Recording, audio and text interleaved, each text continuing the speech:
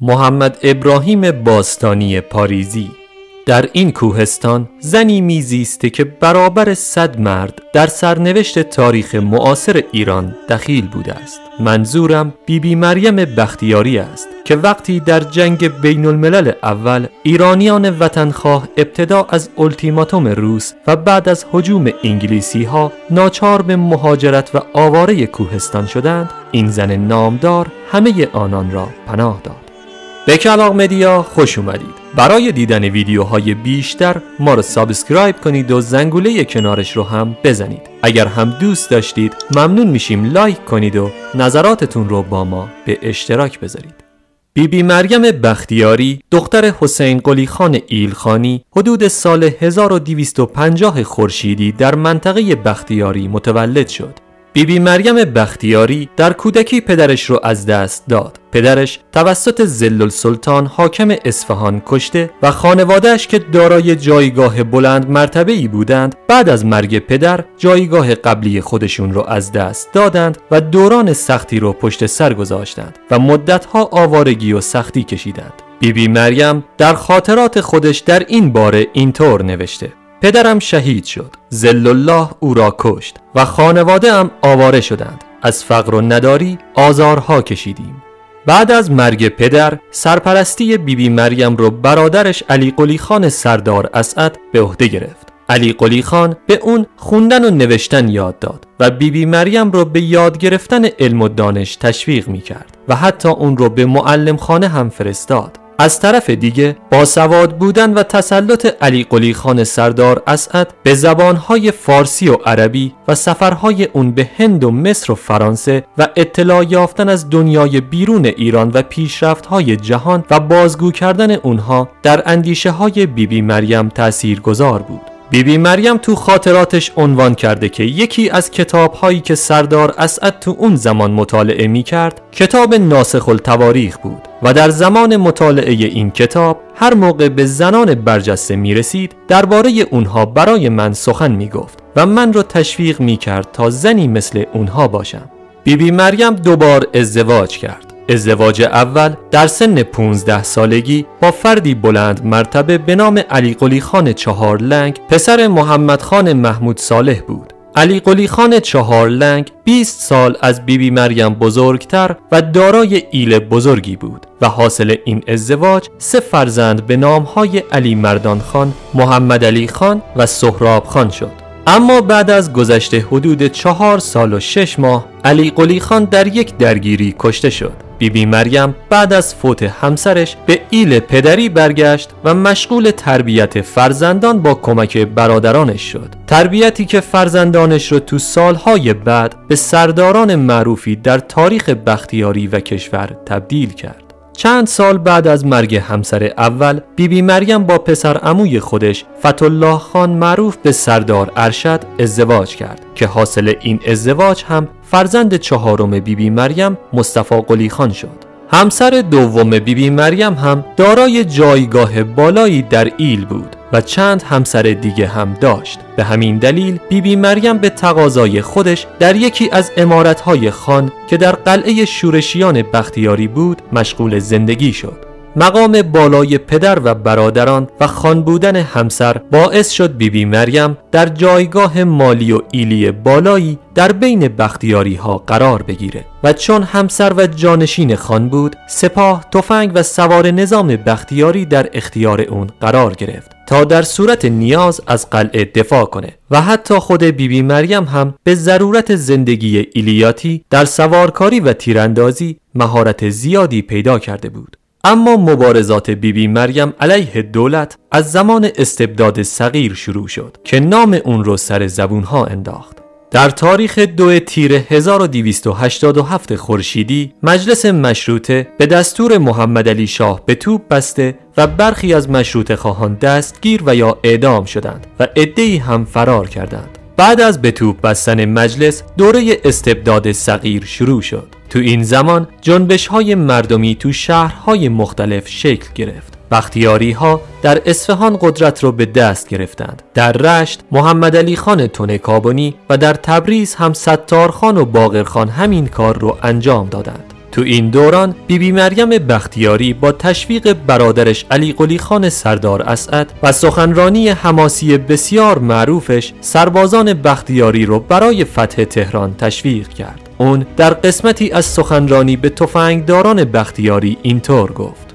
حالا که تصمیم دارید در این کار متعهد و مردانه باشید حال اگر تمام مردان بختیاری شهید شوند تمام زنان بختیاری را جمع نموده کفن به گردن و تفنگ به دست برای شکست دشمن رو به طرف اردوی استبداد حرکت می کنیم بعد از حرکت سردار اسعد به سمت تهران بیبی بی مریم هم بلافاصله به همراه تعدادی تفنگدار به صورت جداگانه به سمت تهران رفتند و مخفیانه وارد شهر شدند و داخل خانه ای در میدان بهارستان مستقر شدند تا به محض شروع درگیری ها بتونند در داخل شهر و اطراف مجلس سنگربندی کنند.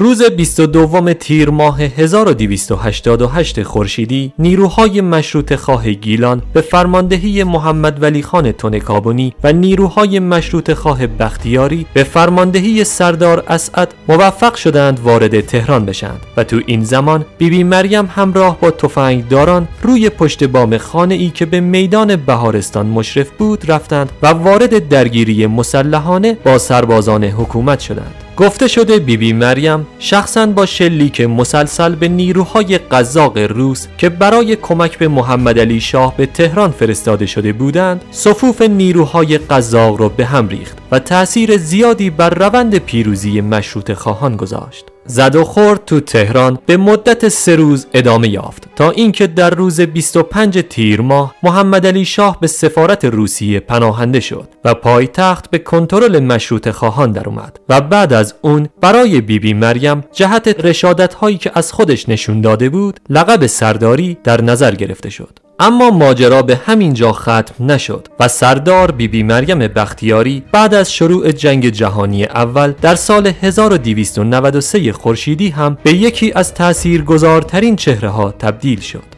در جنگ جهانی اول ایران اعلام بیطرفی کرد. اما به دلیل ضعف و ناتوانی دولت این بیطرفی نادیده گرفته شد و ایران به دست روسیه و انگلیس افتاد. انگلیس از ایران به عنوان انبار قله استفاده کرد و مواد غذایی ایران را برای سربازان خودش در جنگ به غارت برد و منجر به قحطی و کمبود مواد غذایی در ایران شد. بیبی بی مریم در این زمان که چهره ملی و شناخته شده بود نخستین اقدامی که انجام داد کمک به توهیدستان زیادی در اصفهان بود. بیبی بی مریم به مؤسساتی که از افراد بی بزاعت حمایت می کردند هم مبلغ 500 تومان به صورت ماهانه کمک مالی می کرد بیبی بی مریم همچنین گروهی از سپاهیان بختیاری را تجهیز کرد و برای کمک به رئیس علی دلواری که در حال جنگ با انگلیسی ها بود به تنگستان و دشتستان فرستاد. بیبی بی مریم به سرهنگ واسموس که یک سرهنگ آلمانی بود و رئیس علی دلواری را یاری می کرد هم کمک کرد.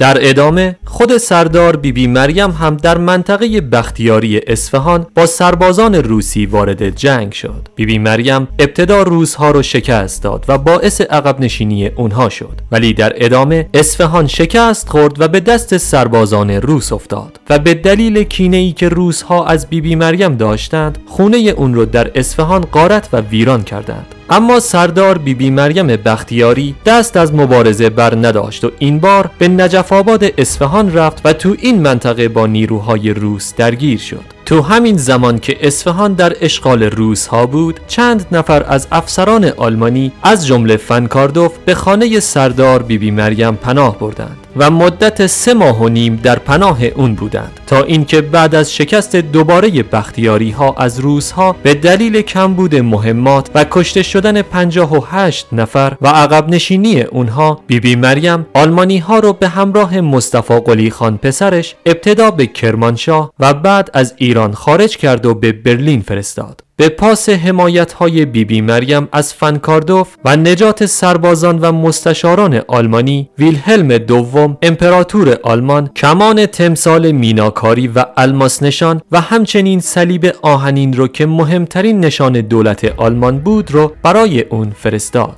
بیبی بی مریم بختیاری تنها زنی تو دنیا بود که تونست این نشان رو دریافت کنه.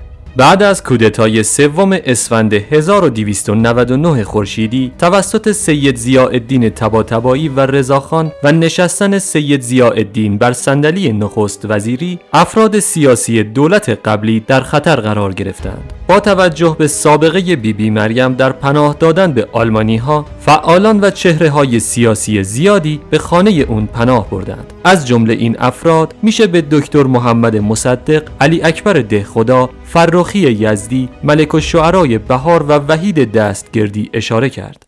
بیبی بی مریم بختیاری در عصری که زنان جایگاه بالایی نداشتند برخی از مسائل مربوط به زنان را مطرح و مطالبه گری کرد. مهمترین دغدغه و نگرانی بیبی بی مریم دموکراسی مردم سالاری استقلال و حقوق برابر برای زنان بود. بیبی بی مریم که هر دو ازدواجش رو سیاسی و اجباری می‌دونست با ازدواجهای اجباری مخالف بود و بارها در مورد حق طلاق زنان و حضور اونها در اجتماع و داشتن مشاغل و کمتر شدن موانع برای پیشرفت اونها صحبت کرده بود. سردار بیبی بی مریم زنی باسواد و روشن فکر بود. و از معدود زنان اون دوره بود که حوادث عصر خودش رو می نوشت. اون سال 1296 شروع به نوشتن خاطراتش کرد اما این کتاب سالها بعد از درگذشتش منتشر شد که در اون درباره کودکی و نوجوانیش و حتی شرح زندگی پرفراز و نشیبش صحبت کرده. بیبی بی مریم در این کتاب به محبت برادرانش و به خصوص سردار اسعد که اون رو تشویق به خواندن شبانه روزی کتاب به خصوص کتاب های تاریخی می کرده اشاره کرده.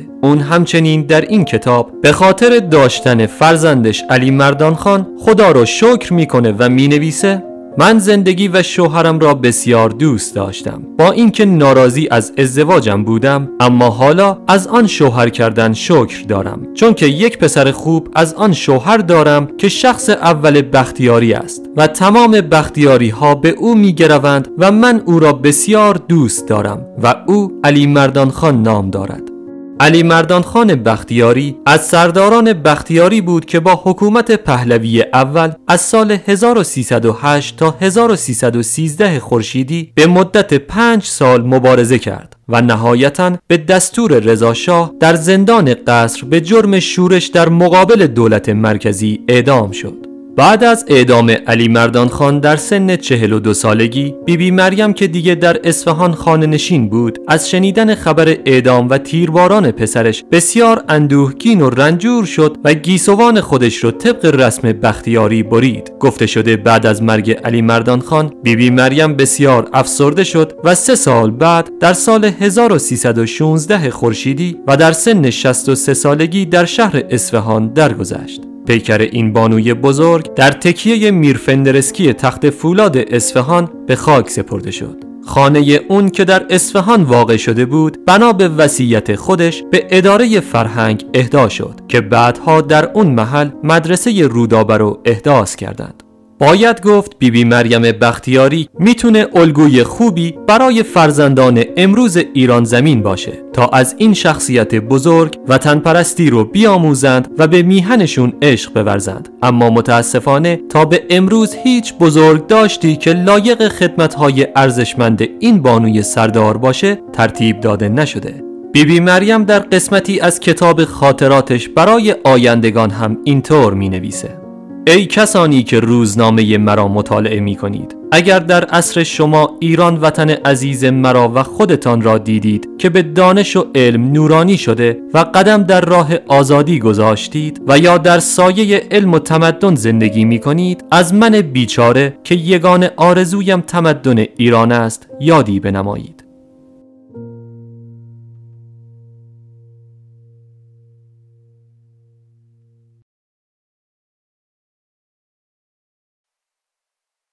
با سپاس از اینکه تا این لحظه همراه ما بودید. تا ویدیو بعدی خدا نگهدار.